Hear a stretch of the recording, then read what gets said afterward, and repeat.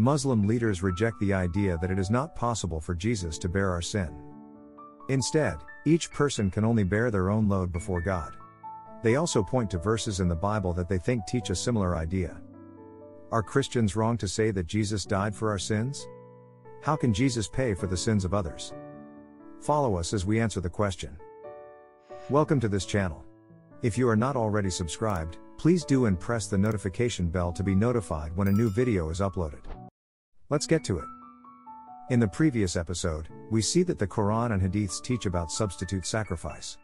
In fact, Christians and Jews are supposed to be the substitute sacrifice for Muslims. That will only make sense if Christians and Jews were not sinners already.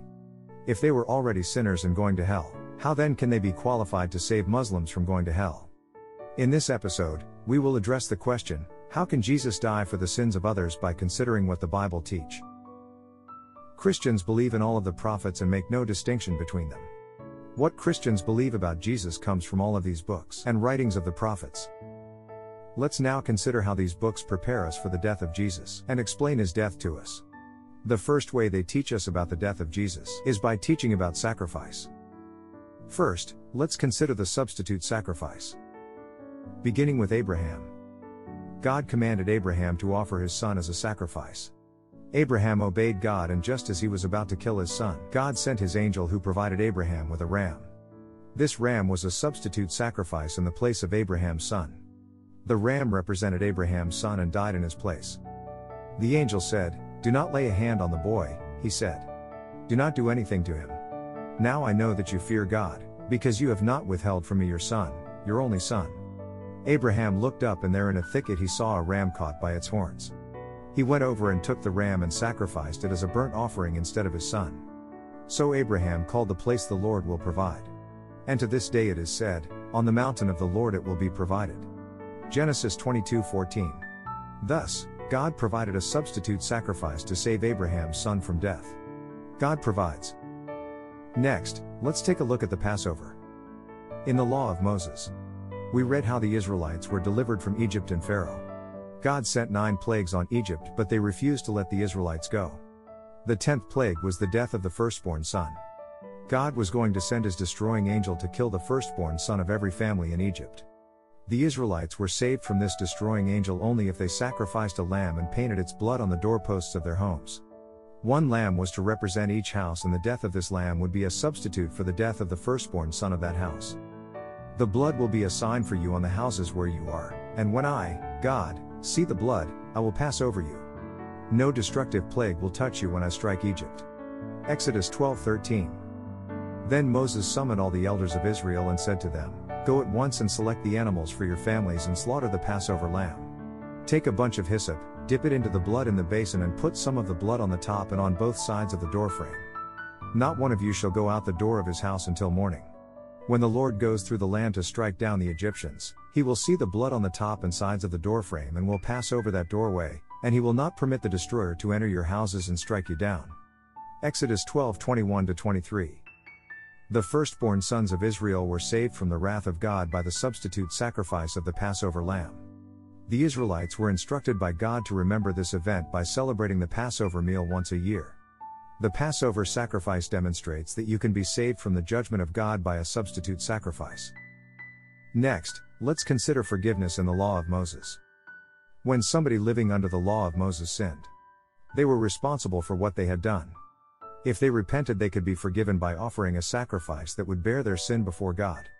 The person would place their hands on the animal's head, and the animal would then represent them. The sacrifice would then die in the place of the person who had sinned he must bring as his offering. For the sin he committed a female goat without defect. He is to lay his hand on the head of the sin offering and slaughter it at the place of the burnt offering. Then the priest is to take some of the blood with his finger and put it on the horns of the altar of burnt offering and pour out the rest of the blood at the base of the altar. He shall remove all the fat, just as the fat is removed from the fellowship offering, and the priest shall burn it on the altar as an aroma pleasing to the Lord. In this way, the priest will make atonement for him, and he will be forgiven. Leviticus 4:28 31. For the life of a creature is in the blood, and I have given it to you to make atonement for yourselves on the altar. It is the blood that makes atonement for one's life. Leviticus 17:11. This is why a lot of the Torah teaches about priests, sacrifices, and the tabernacle or temple where the sacrifices were offered. The Torah teaches individual responsibility and forgiveness through a representative sacrifice that bears our sin. Consider the Day of Atonement for a moment. In the Law of Moses, we read that after God delivered Israel from Egypt, he commanded them to make a special tent. The tabernacle. This tent was where God spoke to Moses and where the Israelites brought their sacrifices to God. However, the sin of the Israelites defiled this tent and its furniture and made it unclean. In fact, the sin of Israel made their whole nation unclean. God provided another sacrifice for the Israelites to take away their sin and uncleanness. It was the Day of Atonement. Two goats were the main sacrifices on the Day of Atonement. These sacrifices were substitutes for the sin of Israel. Here is what Aaron was instructed to do with the goats. Then he is to take the two goats and present them before the Lord at the entrance to the tent of meeting. He is to cast lots for the two goats. One lot for the Lord and the other for the scapegoat. Aaron shall bring the goat whose lot falls to the Lord and sacrifice it for a sin offering. But the goat chosen by Lot as the scapegoat shall be presented alive before the Lord to be used for making atonement. By sending it into the desert as a scapegoat. Leviticus 16 7 10. He shall then slaughter the goat for the sin offering for the people and take its blood behind the curtain and do with it as he did with the bull's blood. He shall sprinkle it on the atonement cover and in front of it. Leviticus 16:15. When Aaron has finished making atonement for the most holy place, the tent of meeting and the altar, he shall bring forward the live goat. He is to lay both hands on the head of the live goat and confess over it all the wickedness and rebellion of the Israelites, all their sins, and put them on the goat's head. He shall send the goat away into the desert in the care of a man appointed for the task. The goat will carry on itself all their sins to a solitary place, and the man shall release it in the desert. Leviticus 16 20 22. Both of these goats were to represent Israel. The first goat was killed as a sin offering. The second goat figuratively carried the sins of Israel far away. The law of Moses demonstrates clearly that God accepts a substitute as a sacrifice for the defilement of sin. Hundreds of years after Moses, and hundreds of years before Jesus, God spoke to the prophet Isaiah. He said that he would provide a new sacrifice like he provided for Abraham. This sacrifice would turn away God's wrath like the Passover sacrifice. This sacrifice would remove sin like the Day of Atonement. In Isaiah chapter 52 from verse 12 to chapter 53 verse 12, we read See, my servant will act wisely, he will be raised and lifted up and highly exalted. Just as there were many who were appalled at him. His appearance was so disfigured beyond that of any man. And his form marred beyond human likeness. So will he sprinkle many nations, and kings will shut their mouths because of him. For what they were not told, they will see, and what they have not heard, they will understand. Who has believed our message and to whom has the arm of the Lord been revealed? He grew up before him like a tender shoot, and like a root out of dry ground. He had no beauty or majesty to attract us to him, nothing in his appearance that we should desire him. He was despised and rejected by men, a man of sorrows, and familiar with suffering. Like one from whom men hide their faces, he was despised, and we esteemed him not.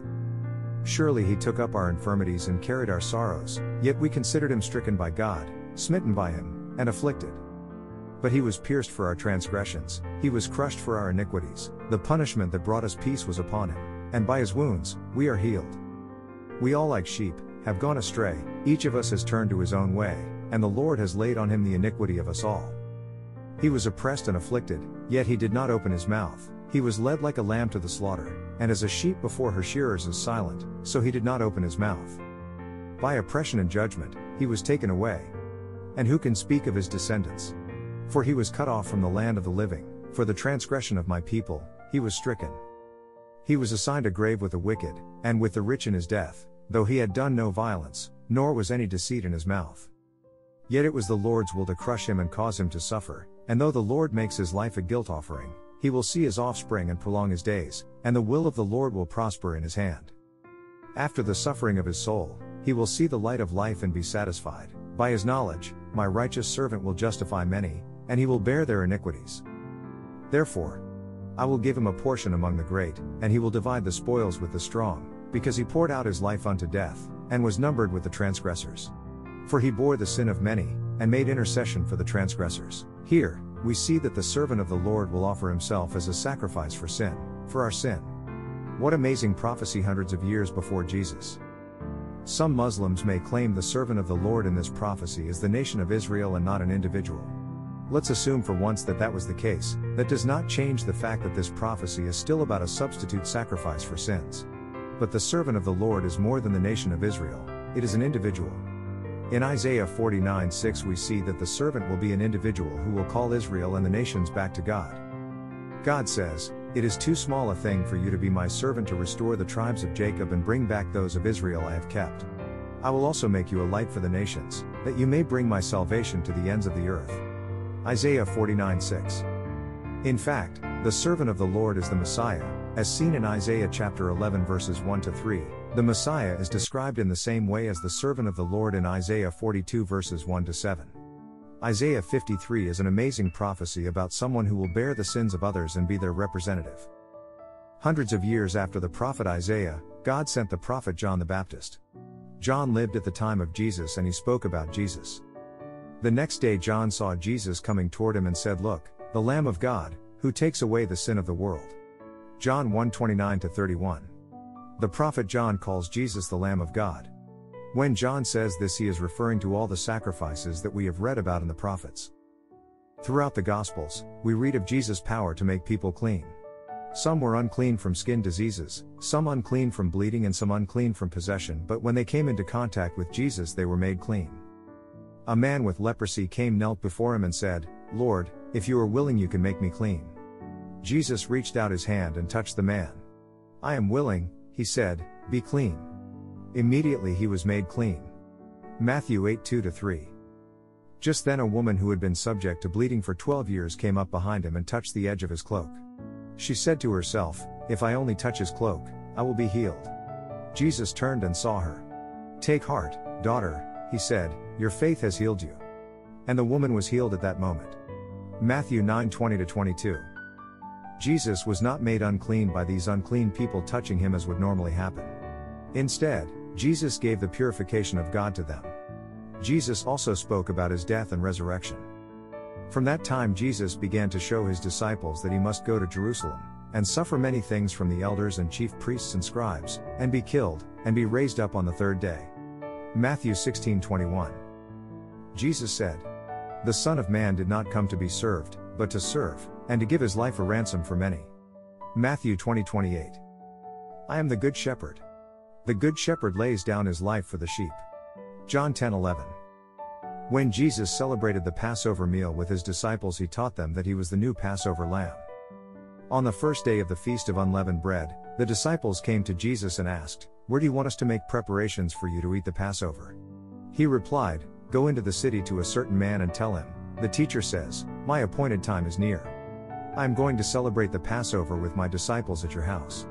So the disciples did as Jesus had directed them and prepared the Passover. While they were eating, Jesus took bread, gave thanks and broke it, and gave it to his disciples, saying, Take and eat, this is my body.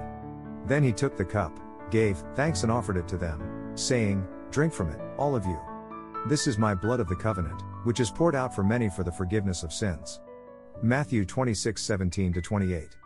This is how Jesus understood himself. He said he was the fulfillment of the previous sacrifices.